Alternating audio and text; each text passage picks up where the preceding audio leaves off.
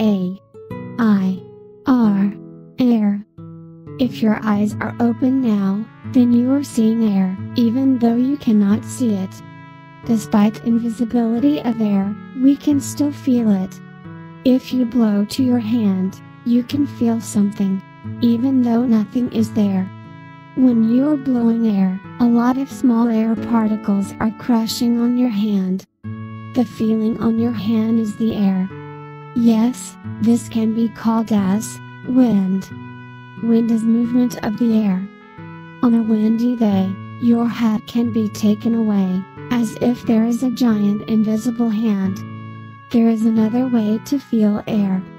Blow a balloon and make it big. Air is inside of the balloon. Tires are similar. We blow air into tires to make it round and flexible. Without air, the tires become flat, and the car cannot move anymore. When we breathe, Air is surrounding us, and it goes into our body. When we are underwater, we cannot breathe. Because we are surrounded by water, not by air. How long can you hold your breath? Generally, people can hold their breath less than two minutes. At some point, you would want to go out of water breathe fresh air.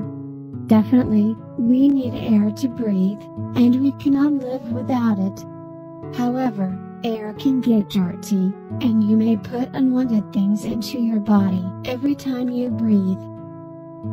This is called air pollution. Air pollution kills around 7 million people worldwide every year, according to World Health Organization. Generally, air pollution happens when we burn something we burn fuels for driving a car, generating electricity, making houses and buildings warm, and so on.